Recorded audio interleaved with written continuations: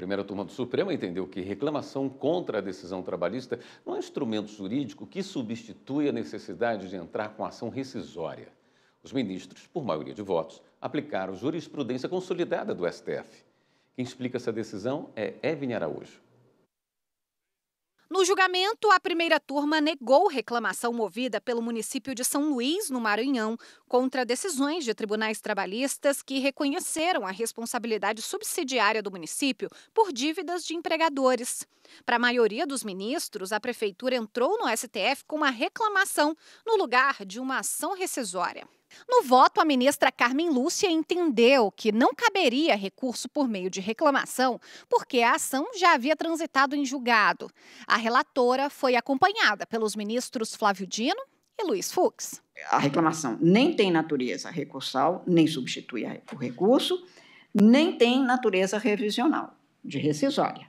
Né? Não pode, nós temos adotado que isso não pode acontecer. Se nós dissermos que por via de reclamação pode-se desconstituir a coisa julgada. É, com base nesse fundamento, muito embora a lei que não foi declarada em constitucional diga que é inadmissível a reclamação se houver trânsito julgado de decisão, nós estaremos infirmando a súmula e estaremos abrindo a porta para várias reclamações sobre várias matérias. O manejo dos instrumentos próprios, que são muitos, é substituído pela via cômoda da reclamação para o Supremo. Se nós dermos essa largueza à reclamação, nós estamos criando uma ação rescisória sem prazo decadencial. Os ministros Alexandre de Moraes e Cristiano Zanin abriram divergência. Para os ministros, no julgamento de uma ação direta de inconstitucionalidade no STF, ficou claro o posicionamento do plenário de que, nos casos de ações transitadas em julgado após decisões vinculantes da Corte, é possível que a parte alegue desrespeito à decisão.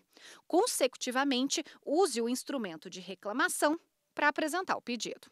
O juiz deveria analisar que se o título executivo é ou não compatível com esse julgamento da DC 16. Só que, ao não fazê-lo, aí sim me parece que ele dá margem à reclamação, porque ele está descumprindo o precedente vinculante. Os precedentes são ignorados e, se houver necessidade de entrar com ações rescisórias, é simplesmente é negar a vinculação que existe dos precedentes do Supremo Tribunal Federal. É, se, por um lado, há o risco de se ampliar a reclamação num determinado momento, num lapso temporal, é, por outro lado, falo isso é, é, com absoluta certeza, somente isso vai fazer com que os tribunais passem a respeitar os precedentes do Supremo Tribunal é, Federal. Muito...